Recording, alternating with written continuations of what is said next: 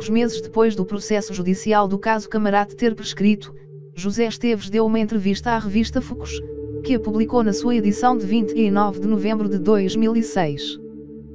Nessa entrevista, José Esteves confessou ter sido ele quem fabricou o engenho explosivo, mais concretamente uma bomba incendiária, destinada a fazer cair o avião que vitimou, a 4 de dezembro de 1980, os então Primeiro-Ministro Francisco Sá Carneiro e Ministro da Defesa Adelino Amaro da Costa, assim como os respectivos acompanhantes e pilotos da aeronave, num total de sete vítimas mortais.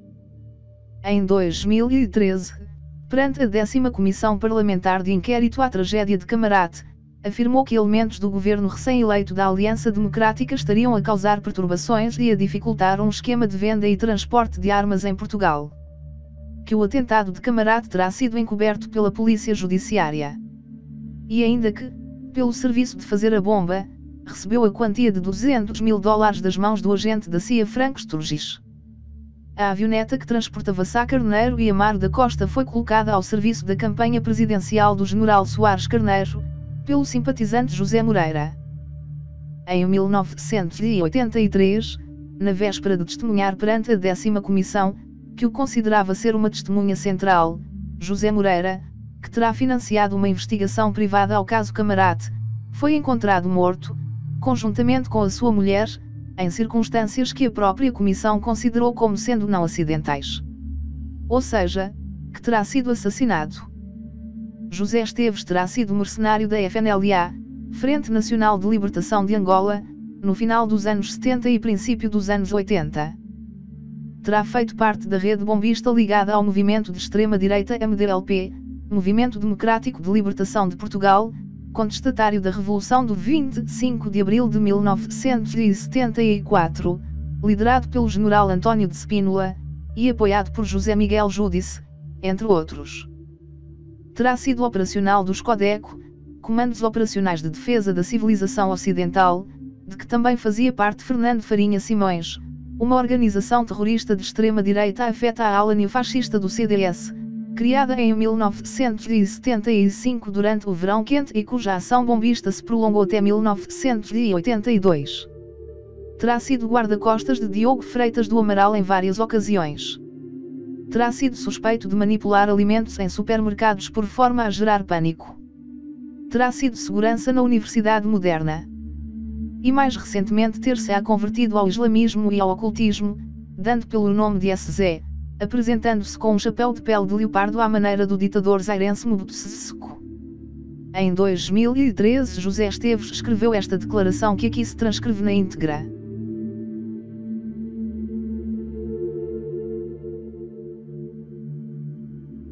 Conheci Fernando Farinha Simões desde antes do 25 de abril, nomeadamente de Angola. Em Portugal participei com ele na rede bombista, desde 1974. Sabia, desde 1976, que Farinha Simões trabalhava para a CIA. Acompanhei, neste período, Farinha Simões dois ou três vezes à Embaixada do Zeuá, Nave. Duque de Lolé, em Lisboa, onde Farinha Simões permanecia, normalmente, cerca de 15 a 20 minutos.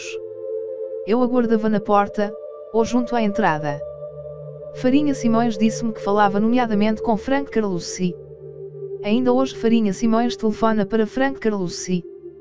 O primeiro contacto que tive por causa da operação que viria a ser o atentado de Camarate, foi em setembro de 1980, quando Farinha Simões me abordou dizendo-me que seria necessária a execução de uma nova operação.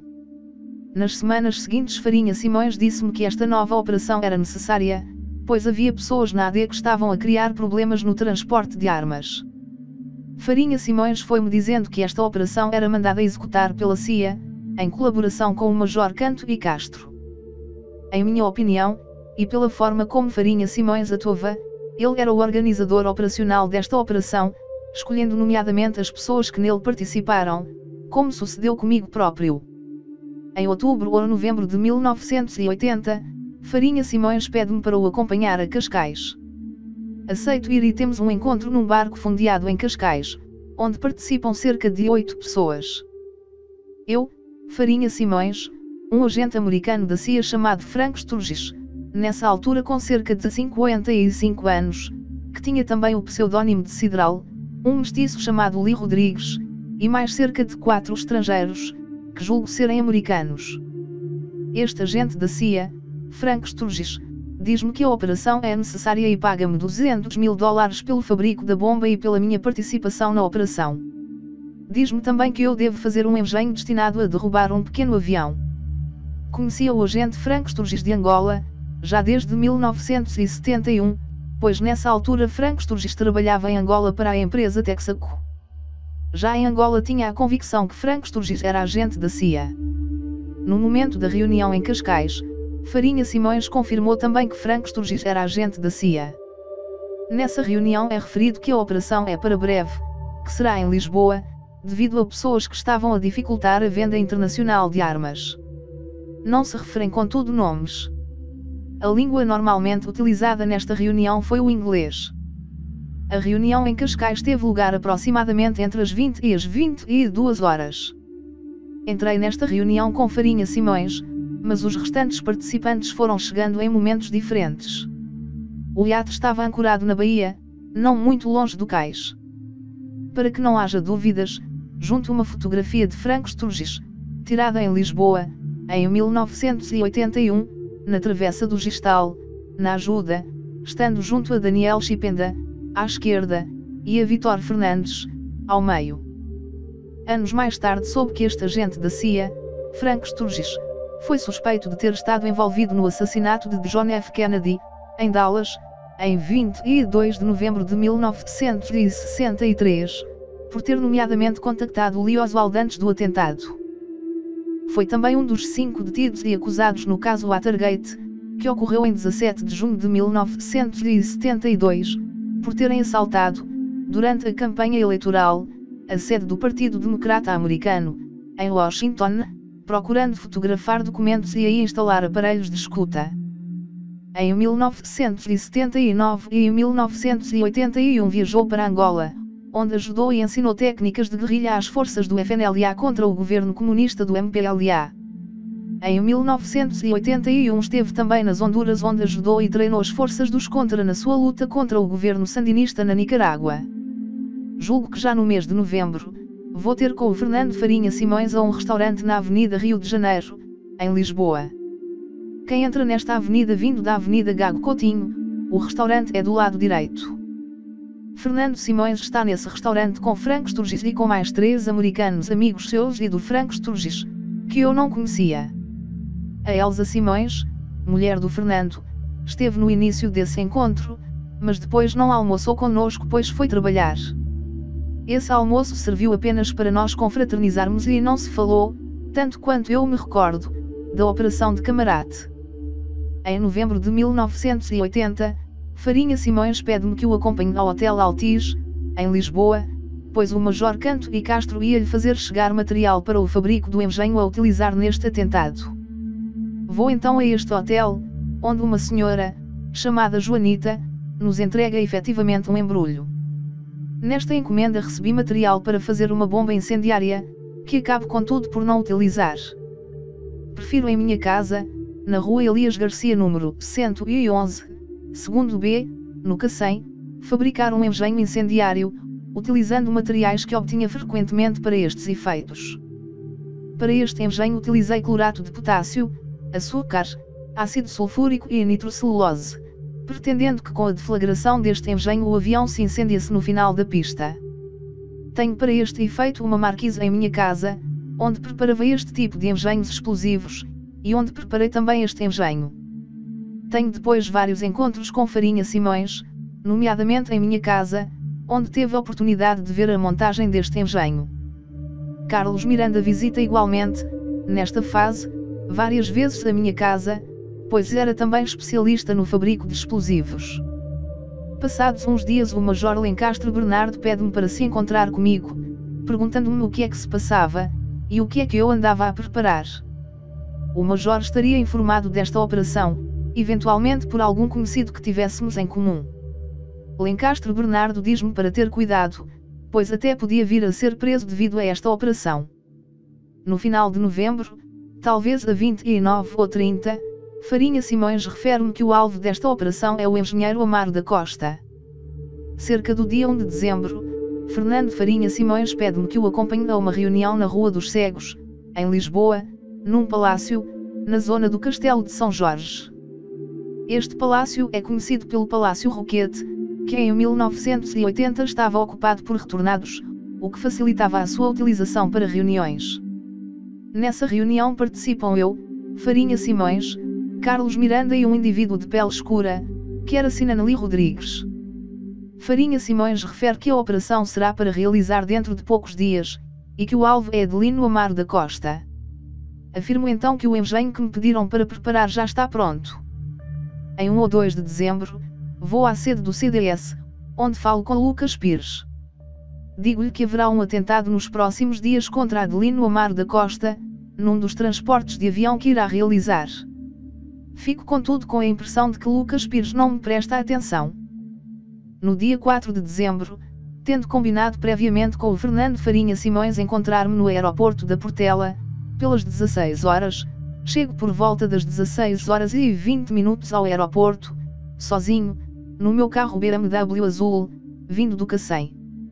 Depois de estacionar o carro, vou até ao portão do aeroporto, onde encontro o Fernando Farinha Simões, a quem entrego o saco que trazia comigo, e que continha o engenho incendiário que eu fabricara, que era uma bomba incendiária, e um explosivo à parte. Este explosivo à parte tinha-me sido enviado por Canto e Castro, e foi-me entregue, em novembro, no Hotel Altis. Fernando Farinha Simões estava acompanhado por Sinanali Rodrigues, e mais dois americanos, um dos quais era Frank Sturgis.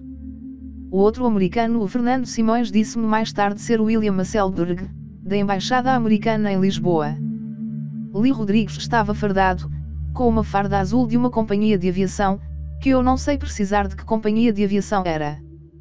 O Fernando disse-me mais tarde que essa farda foi feita à medida para ele numa loja na Rua Augusta, em Lisboa, chamada Américo e Lima, onde trabalhava uma senhora chamada Maria de Lourdes Santos Costeira. Eles movimentavam-se à vontade dentro do aeroporto, pois dispunham de cartões livre trânsito que lhes permitia circular no aeroporto. Eu não entrei dentro do recinto do aeroporto, pois não dispunha de um cartão desse tipo. Eles entraram os quatro para dentro do aeroporto, e eu fui para o aeroporto, para uma cafetaria, onde fiquei à espera, e onde permaneci cerca de três horas. Eles entretanto foram meter a bomba no avião.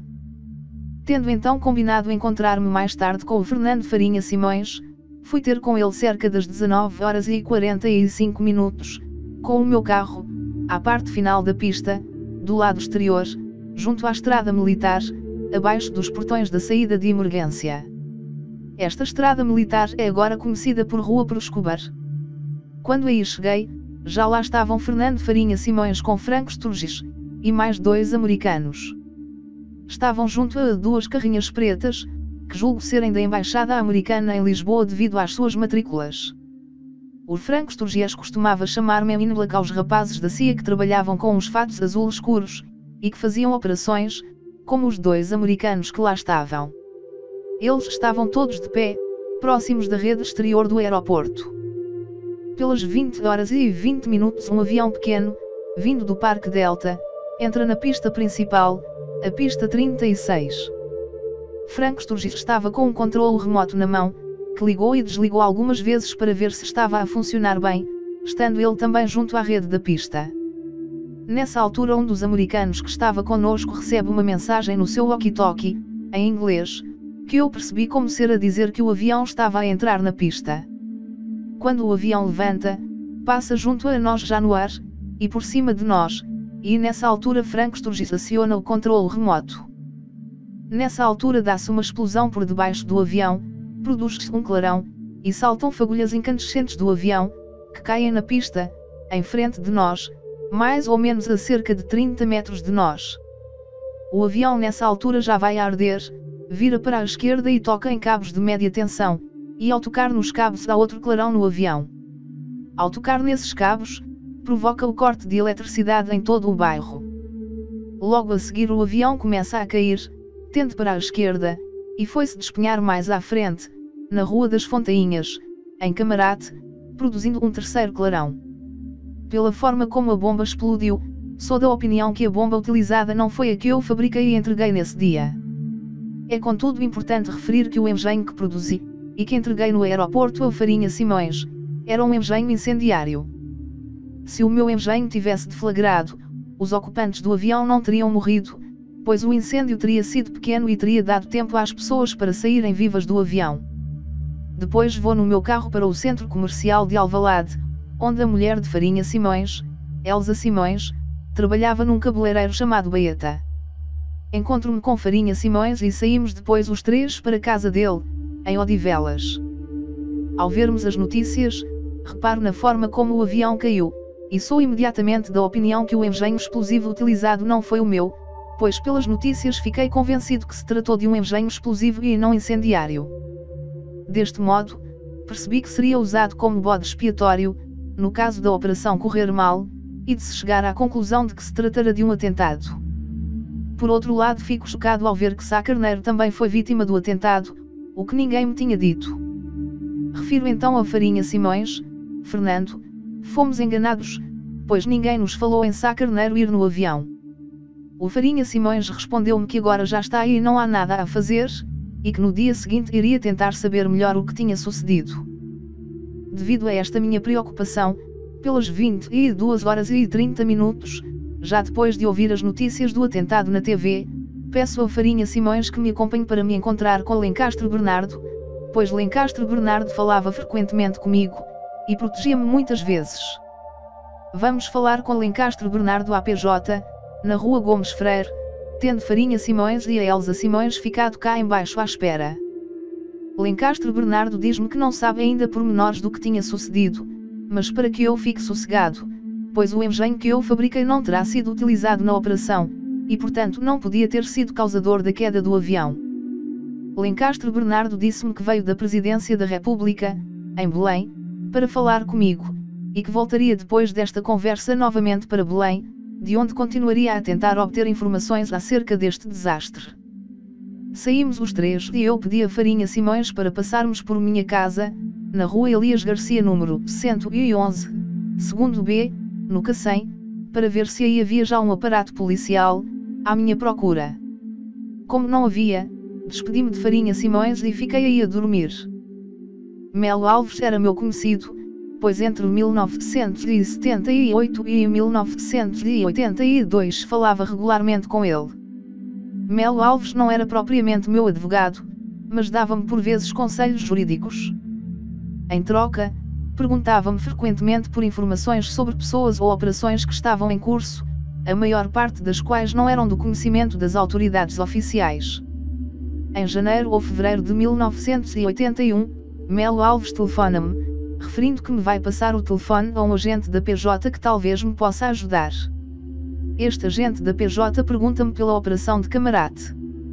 Conto-lhe então bastantes pormenores de como se montou e realizou o atentado de Camarate, só possíveis em quem tinha conhecimento direto do desenrolar da operação.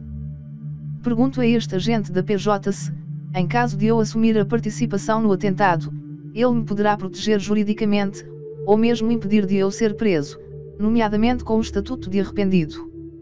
O agente diz-me que procurará ver o que pode fazer, mas não me chego a identificar ao telefone. Tenho hoje a convicção de que este agente da PJ era Vitor Pereira.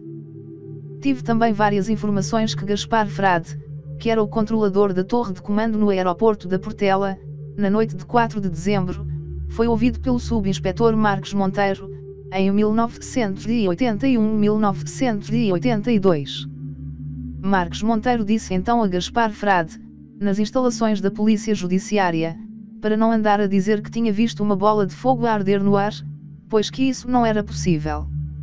Foi claro, portanto, que Marcos Monteiro pressionou Gaspar Frade a alterar o seu primeiro depoimento. É assim importante que a presente comissão de inquérito parlamentar possa convocar Gaspar Frade, possa aí descrever não só as expressões a que foi submetido para não referir que viu o avião a arder no ar, mas também para voltar a descrever, em pormenor, o que viu nessa noite. Julgo que as restantes pessoas que então estavam na torre de comando, hoje já não estão vivas. Mais tarde, em meados de 1985, vou para o Brasil, pois em Portugal começava-se a falar muito sobre Camarate, sobretudo devido à investigação liderada por Augusto Cid. Para este efeito, Farinha Simões apresentou-me a um senhor que trabalhava no governo civil de Lisboa, que me concedeu um passaporte com o nome de Henrique Gabriel de Castro Ferreira.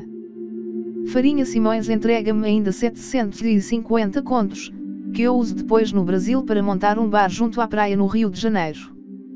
Sei que Farinha Simões também recebe dinheiro para se deslocar para o Brasil, tendo eu a convicção de que foi concedido pelos amigos de Farinha Simões da CIA. Sei, nomeadamente através de Farinha Simões, que Farinha Simões fugiu pouco tempo antes da prisão em Sintra, com auxílio de um agente da CIA. Só mais tarde no Brasil, portanto depois de 1985, é que Farinha Simões me diz ter sabido antecipadamente que Sá Carneiro ia no avião que caiu em Camarate, pois a CIA, via Frank Carlucci, tinha aprovado esta operação, e que Frank Carlucci tinha dado instruções para seguir adiante com a operação, mesmo depois de Farinha Simões lhe ter referido saber que Sá Carneiro também ia no avião. Ainda no Brasil conheci o Sr. Francisco Pessoa. Mais tarde, por volta de 1987, recebi uma chamada telefónica de Portugal do Sr. Francisco Pessoa, que me disse poder ajudar-me em Portugal, e procurar proteger-me, desde que eu contasse o que se tinha passado em Camarate. Eu contei a minha participação na operação de Camarate, nomeadamente como tinha feito o engenho e ido ao aeroporto e disse-lhe que o Major Lencastre Bernardo tinha tido conhecimento prévio desta operação. Perguntei que tipo de apoio poderia receber se contasse publicamente estes acontecimentos. Francisco Pessoa e eu ficámos de pensar no assunto, e voltarmos a falar. Pouco tempo depois regressei a Portugal, mas não cheguei a concretizar nenhum acordo com Francisco Pessoa. Na minha opinião, se o engenho que fabriquei tivesse sido utilizado, o avião teria caído no fim da pista, pois não tinha uma grande potência. Por esta razão, fiquei então convencido de que fui utilizado como o bode expiatório desta operação, para o caso dela correr mal e os seus autores serem presos. Ainda hoje tenho esta opinião. Acrescento que a direção da PJ tinha perfeito conhecimento do que se estava a preparar, tanto mais que tinha um agente em campo, chamado Vitor Pereira, que acompanhou esta operação desde 1980. O mesmo Vitor Pereira seria, aliás, a pessoa que acabaria por revelar o meu nome na comissão de inquérito sobre Camarate, na Assembleia de República. Mais tarde, em 1994, os agentes da Polícia Judiciária, Vitor Matos e Vitor Antunes, vêm à casa da minha mãe, na rua João Penha número 13, em Lisboa. Pedem-lhe para me transmitir que eu podia regressar a Portugal, pois precisavam de me ouvir. Asseguram contudo à minha mãe de que eu poderia vir sossegado, pois que nada me aconteceria nesta audição no tribunal. Referem inclusivamente à minha mãe, que estão ali com conhecimento do Procurador-Geral da República, Dr. Cunha Rodrigues, e que este lhe assegura também que nada me sucederá, pois a audição é apenas para cumprir algumas formalidades jurídicas. Regresso assim a Portugal, em 1995, depois de ter estado cerca de três meses em Espanha, nomeadamente em Badajoz, e sou então ouvido no Tribunal de Instrução Criminal, junto ao Campo de Santana, em Lisboa, pelo juiz Fernando Vaz Ventura. Estou então nesse tribunal dois dias seguidos. No primeiro dia, das 20 horas e 30 minutos até às 5 horas e 30 minutos horas da manhã do dia seguinte. No segundo dia, das 14 horas até às 17 horas. Enquanto estive nesse tribunal, Fernando Vaz Ventura diz-me sempre que tudo ia correr bem no interrogatório, e que nada de mal me iria suceder. Diz-me que me vai ter de considerar arguído porque a lei assim o obriga, mas que não só eu sairei livre depois do interrogatório, como, no futuro, deixarei mesmo de ser arguído. Ser arguído é portanto apenas um formalismo, mas que o desenrolar desta investigação não terá, no futuro, qualquer consequência para mim. Durante todas as horas em que estive no tribunal, estão também presentes os anteriormente agentes Vitor Matos e Vitor Antunes. Considerei contudo curioso que tanto estes dois agentes, como o juiz Fernando Vaz Ventura, falavam frequentemente, pelo telefone, com o Procurador-Geral da República, Cunha Rodrigues, contando-lhe o que se passava, e o desenrolar do meu depoimento. Durante todas essas horas, fizeram-me apenas dois ou três perguntas, nomeadamente onde tinha conhecido Li Rodrigues. o tempo em que estive no tribunal foi essencialmente utilizado pelo juiz Fernando Vaz Ventura para ditar o meu depoimento para um agente, que o ia escrevendo à máquina, enquanto eu assistia calado. Não tive, portanto, praticamente nenhuma intervenção no meu depoimento. No final pediram-me para eu assinar, o que eu fiz. Garantiram-me, contudo que embora eu passasse a ser considerado arguído no caso camarate, nada me iria acontecer, e que portanto eu podia estar sossegado. O juiz Vaz Ventura sorria sempre para mim, perguntando-me frequentemente se precisava de alguma coisa.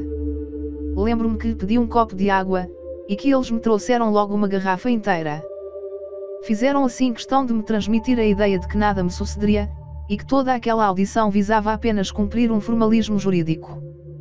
Desta forma fiquei tranquilo, e devo dizer que embora não me tenham lido o meu suposto depoimento, também não pedi para o ler antes de o assinar.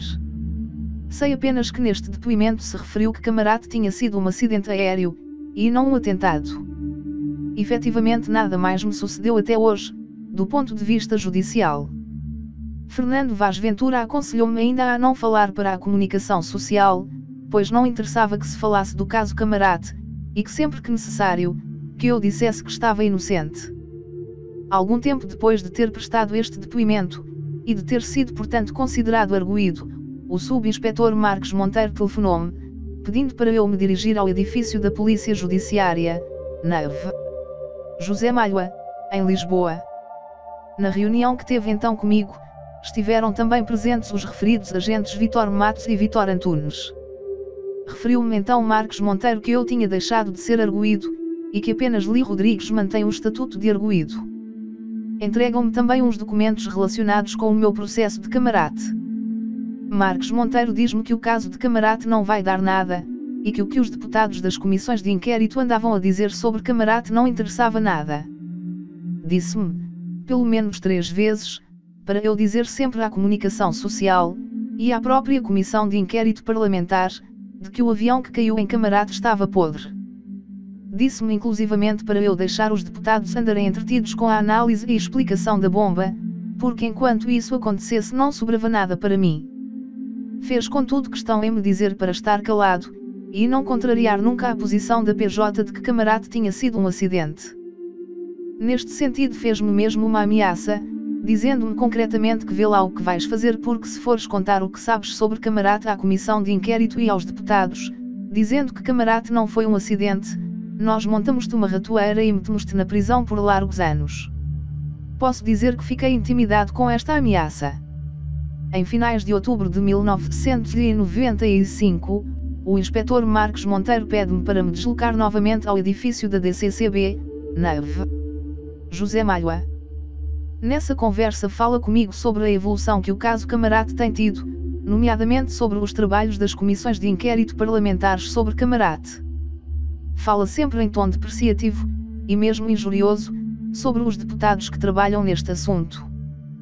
Diz-me a certa altura que se quiseres podes dar um tiro no Vitor Pereira que eu, e a própria PJ, asseguraremos que nada te acontecerá, pois o Vitor Pereira anda a acusar e a desprestigiar a PJ no caso Camarate, e a dizer que a PJ não anda a fazer a investigação que devia. Nessa mesma conversa Marcos Monteiro diz-me que tu devias era pregar um cagaço a esses gajos, como o Augusto Cid, que nos andam a chatear com o caso Camarate. Em face desta sugestão, e como queria ter a proteção da PJ para não ser acusado no caso Camarate, no dia seguinte vou à casa do Augusto Cid, no Largo da Princesa, junto a Belém, e vejo que a sua filha estava dentro de um carro, com o seu namorado. Mostrou-lhe então uma pistola metralhadora americana M11, que seguro na mão, dei dois tiros para o ar, embora com o silenciador, e digo-lhe vê lá se dizes ao teu pai para não andar a mexer com camarate e a acusar-me, porque eu não sou pera doce. Sei depois que o Augusto Cid apresentou uma queixa na PJ, mas que essa queixa não deu em nada. Devo ainda dizer que, por várias vezes, o inspetor Marcos Monteiro e os seus colaboradores na PJ, me disseram que, na investigação de Camarate, trabalhavam sempre diretamente sob as ordens do Procurador-Geral da República, Dr. Cunha Rodrigues. Devo também referir que, segundo me disse o próprio Marcos Monteiro, existia uma mala num armário do seu gabinete, na sede da Polícia Judiciária, na Rua Gomes Freire. Este facto sucedeu quando a DCCB ainda se chamava SCEVC. Segundo também me disse Marcos Monteiro, esta mala tinha sido entregue por Vitor Pereira ao inspetor Pedro Amaral da PJ, na noite do atentado, pois Vitor Pereira foi o primeiro a chegar junto dos destroços do Cessna, e tinha encontrado aí esta mala. A polícia judiciária sempre abafou a existência desta mala e guardou-a bem guardada, para evitar um escândalo.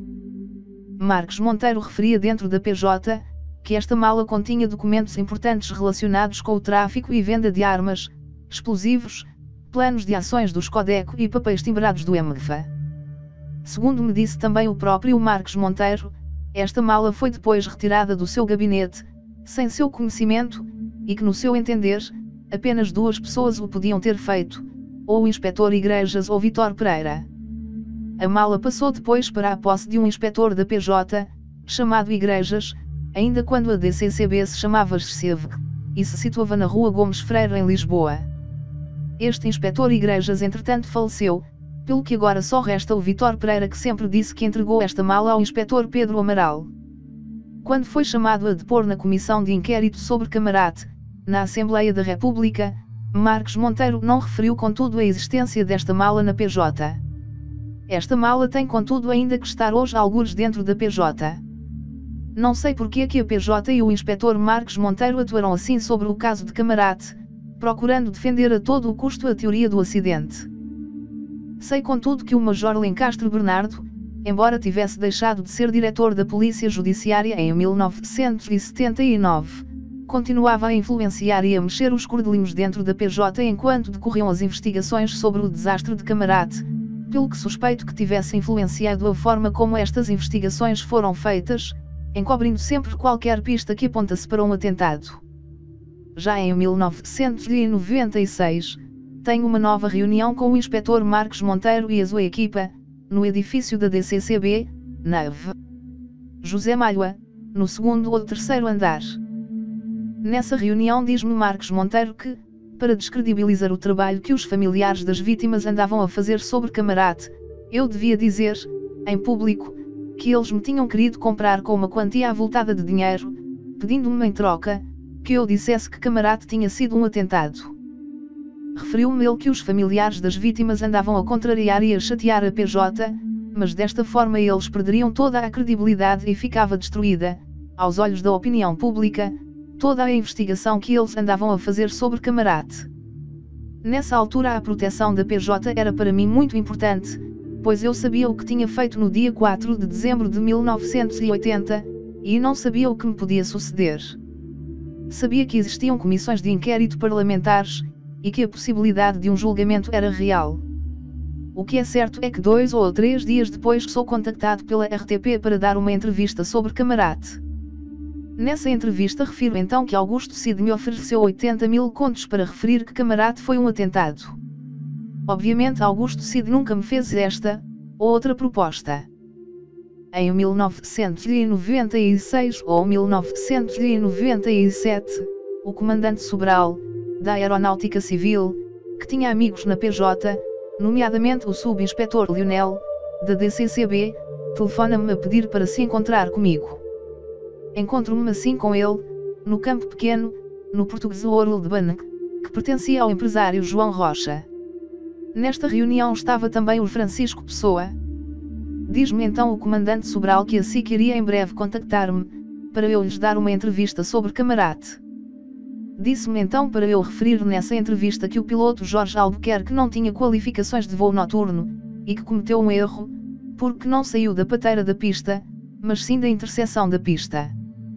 Entendendo que essa posição era para meu benefício, e que com isso assegurava a minha proteção no caso Camarate, foi isso o que eu disse na entrevista à SIC, para a qual fui efetivamente convidado uns dias mais tarde. Essa entrevista foi conduzida por Rodrigo Guedes de Carvalho. Devo referir que nessa altura encontrei nos estúdios da SIC, em Alfragide, o Dr. Francisco Pinto Balsemão, que me disse para eu entrar nos estúdios da SIC que lá trataram de mim. Eu acabei então por ser entrevistado no programa da Máquina da Verdade.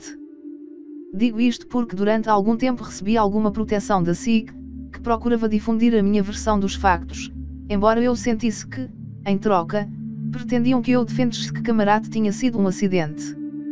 Mais tarde, a senhora Paula Marques, que era minha cliente nas consultas que eu dava, e morava na rua Leite de Vasconcelos número 72, primeiros em Lisboa, veio à minha casa no dia 9 de junho de 2005, tendo-me feito muitas perguntas sobre Camarate, nomeadamente qual tinha sido a minha participação, e quem tinha montado a operação. Em seguida colocou-me um líquido num copo, que me fez baixar a tensão, para eu adormecer. Eu percebi isso pois, depois de beber por esse copo, senti-me tonto e mal. Mas consegui reagir e perguntei à senhora Paula Marques por que tinha feito aquilo, ao que ela me respondeu que foi a PJ que a tinha enviado com esta missão, por indicação do inspetor Luís Neves da DCCB, para em seguida revistarem a minha casa, verem o meu computador, os meus livros, as minhas notas pessoais e os meus documentos, para procurarem informações sobre Camarate. Acabou por me confessar que nunca pensou que a PJ fizesse uma operação destas e atuasse desta forma.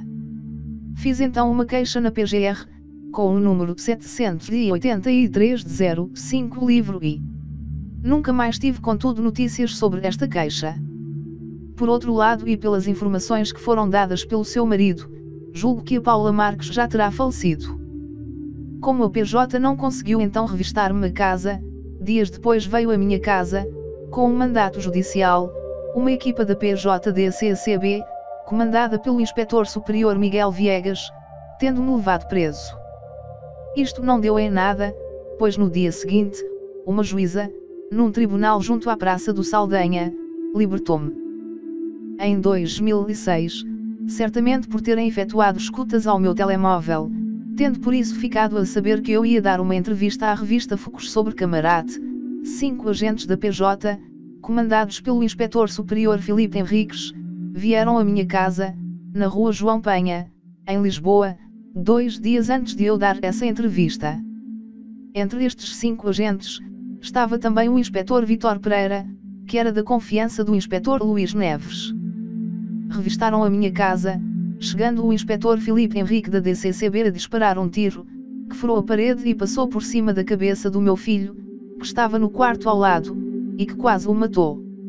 Esta bala provocou um buraco, que ainda hoje existe, tendo o chão ficado com pedras e cimento. Depois e por terem encontrado uma arma, levaram-me preso, acusado de posse ilegal de arma. Não me disseram diretamente, mas para mim foi claro que esta visita agressiva à minha casa pela PJ, teve a intenção de me intimidarem, de forma a eu mudar de ideias e a não dar uma entrevista a dizer que Camarate tinha sido um atentado. Fiquei preso nessa noite, no edifício da DCCB, na Ave. José Malhoa. No dia seguinte fui levado ao Tribunal de Instrução Criminal, junto ao Saldanha, para ser presente a uma juíza, a quem afirmei que esta prisão se devia apenas à minha intenção de dar uma entrevista a Focus, e que a posse ilegal de arma era só uma desculpa. A juíza, ao ouvir esta explicação, soltou-me imediatamente. No dia seguinte dei a entrevista à revista Focus, através do jornalista Frederico Duarte de Carvalho. Nessa entrevista afirmei que fabriquei a bomba que foi utilizada no atentado de Camarate. Falei com frequência, pelo telemóvel, nos dias anteriores a esta entrevista com Frederico Duarte de Carvalho que, como referi, permitiu aos agentes da PJ conhecerem essa minha intenção. Em conclusão, gostaria de afirmar que Camarate se tratou de um atentado organizado por elementos da CIA, em colaboração com alguns militares portugueses envolvidos no tráfico de armas.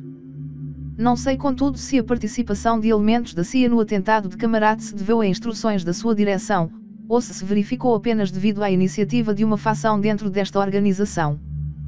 Também quero referir que em Portugal o atentado de Camarate foi, desde o início, encoberto pela polícia judiciária, que sempre procurou fabricar provas de que se tratara de um mero acidente, intimidando qualquer pessoa que tivesse uma opinião contrária, e ocultando deliberadamente provas evidentes de que se verificara um atentado. Não se tratou, portanto, de incompetência ou de dificuldades na investigação. Tratou-se de uma ação deliberada, por parte da Polícia Judiciária, para ocultar os indícios e provas do crime. Sobre mim, a Polícia Judiciária teve um primeiro período, em que me procurou manipular, dizendo-me o que fazer e o que dizer para defender a tese do acidente, referindo que em troca nunca me acusariam de ter participado nesta operação, nem me prenderiam. num segundo momento, quando viram que eu já não me sujeitava a receber as suas instruções, e que defendia que Camarate tinha sido um atentado, passaram a tentar intimidar-me, revistando a minha casa, e ameaçando-me que me prenderiam se alguma vez dissesse em público que Camarate tinha sido um atentado. Dentro dos elementos da PJ que mais atuaram desta maneira, no que diz respeito à forma tendenciosa como a investigação sobre Camarate foi conduzida, quero referir os nomes do Dr. Orlando Romano, Marcos Monteiro, Vitor Matos e Vitor Antunes. Também dentro da PJ, mas em relação aos elementos que me procuraram intimidar, para que eu nunca contrariasse a teoria do acidente fabricada pela PJ, quero indicar os nomes de Luís Neves, Miguel Viegas e Felipe Henrique. A este respeito é pertinente referir que, durante as décadas de 80 e 90, era o Dr. Orlando Romano, diretor da PJDCCB, que durante muitos anos dirigiu as investigações sobre Camarate, e que influenciou certamente a forma desonesta e tendenciosa como a PJ investigou o caso de Camarate. Basta referir que um dia, quando eu fui constituído arguído em Camarate, o Dr. Orlando Romano, então diretor da DCCB, veio falar comigo, no sétimo andar da DCCB, e me disse que embora eu estivesse a passar um mau bocado devido a esta investigação, mas esteja descansado que tudo se vai resolver e que nada lhe vai acontecer, pois a PJ já tinha decidido que Camarate foi um acidente. Esta afirmação do Dr. Orlando Romano diz bem da forma tendenciosa e previamente definida como a PJ encarou a investigação sobre Camarate. Por estes motivos refiro que, no meu entender, a polícia judiciária foi, no caso Camarate, uma polícia bandida e contumaz.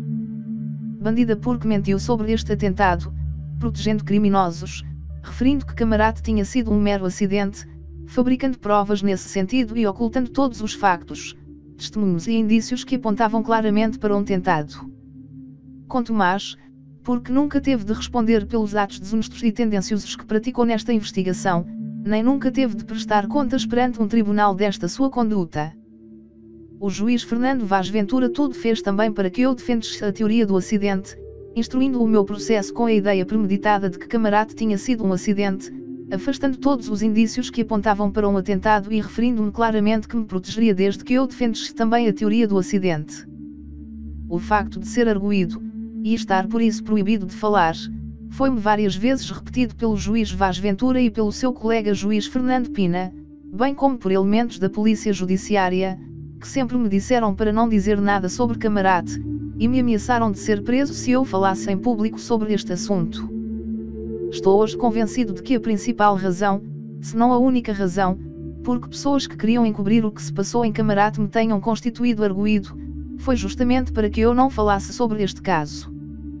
Com efeito, nas conversas que tive com os juízes Fernando Vaz Ventura e Fernando Pina, fiquei claramente com a certeza de que não tinham a mínima vontade, nem intenção, de permitir um julgamento sobre o caso Camarate, independentemente dos factos ou provas que aparecessem. Em face da referida ordem de não falar, eu aceitei cumprir essa ordem, pois sabia que tinha participado no atentado de Camarate e receava por isso ser preso. Devo acrescentar que ainda hoje não recebi nenhum documento escrito a dizer que deixei de ser arguído sobre Camarate. Toda esta situação mudou contudo para mim, pois hoje em dia sinto a obrigação de contar a verdade e de desmascarar toda esta mentira, que perdurou durante anos, organizada pelo juiz Vaz Ventura, pela Polícia Judiciária, pelo Ministério Público e pelo Procurador-Geral da República, Dr. Cunha Rodrigues. Entre 2011 e 2013, para se poder conhecer a verdade do que sei sobre o atentado de Camarate, decidi escrever e assinar esta declaração, de livre vontade. Lisboa, 16 de maio de 2013. José Antônio dos Santos Esteves. B5.673.529 AL